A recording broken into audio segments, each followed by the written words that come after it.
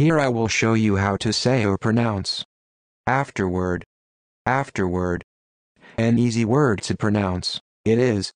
Afterward, afterward, afterward.